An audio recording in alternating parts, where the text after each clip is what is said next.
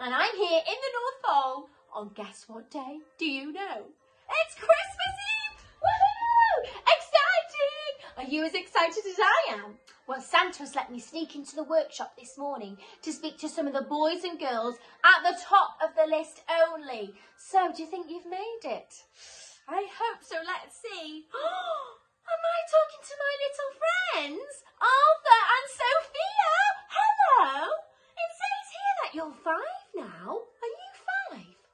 Oh my gosh, I'm getting very old. I can't believe you're five. Shall we see what you've asked for for Christmas this year? Hmm. Who's asked for?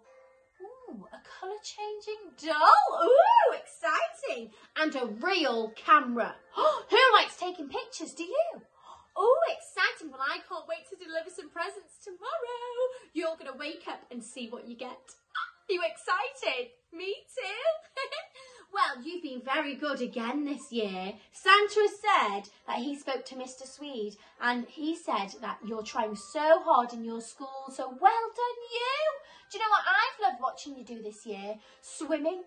You've been so brave in the water. Well done. Great swimming, guys. Amazing. And Santa said he's loved watching Sophia in Elspeth dance. I love dancing too. Stagecoach. Oh, how exciting, both of you. Well done. I knew you'd be on the good list again. You're always so good. Right, what else does it say here? Oh, it says here, Santa said that you're going to France next year and it's going to be your first time ever on a plane ever. Oh my gosh, going on a plane is a bit like going on a sleigh. Oh, How exciting. I hope you have the best time ever. Will you be able to send us a postcard? I'd love to hear all about your trip. Right, I've got so many busy jobs to do. I'm going to have to get going. I need to speak to some more boys and girls and then I've got to go and put your presents on the sleigh so that I can come. It says that you're living in Mold, is that right? Well, I'm going to drop off your presents with Santa there tonight. Don't forget to say hello to Dolly and Rosie, the cats, for me. Hello, because I probably won't have time to say hello later.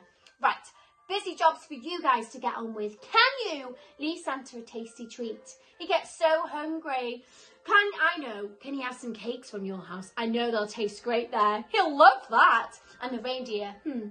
I think they'll just like some reindeer food or a carrot or something. Yeah, they'll like anything really. Right, well I best go, hadn't I? Oh, I need to go feed the reindeer now. They're a bit peckish. So have a Merry Christmas. I hope you're back on the list next year and I hope you enjoy all your presents tomorrow. Merry Christmas to you all, everybody! Ho, ho, ho! Have a Happy New Year!